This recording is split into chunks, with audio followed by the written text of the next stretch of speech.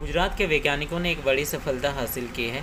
उन्होंने दुनिया का सबसे महँगा मशरूम उगा लिया है, जिसका नाम है कोडिसेप्स मिलिटरिस और इसकी करीबन कीमत डेढ़ लाख रुपया है।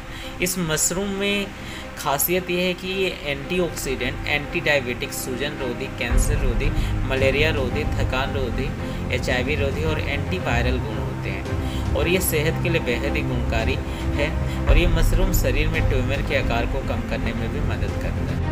तो इस मशरूम की एक किलो मात्रा की कीमत का अंदाज़ा डेढ़ लाख रुपया लगाया गया है। और ये दोस्तों, कच्छ के Gujarat institute of desert ecology guide के वैज्ञानिकों ने कोडिसेप्स मिलिट्रीज को 90 दिनों के अंदर लेब के नियंत्रित वातावरण में उगाया। उसके लिए उन्होंने पैंतीस जार लिए और इस मशरूम को उगाया। पता चला कि मशरूम की इस प्रजाति का इस्तेमाल चीन और तिब्बत की प्राकृतिक दवाइयों में लंबे समय से होता रहा है।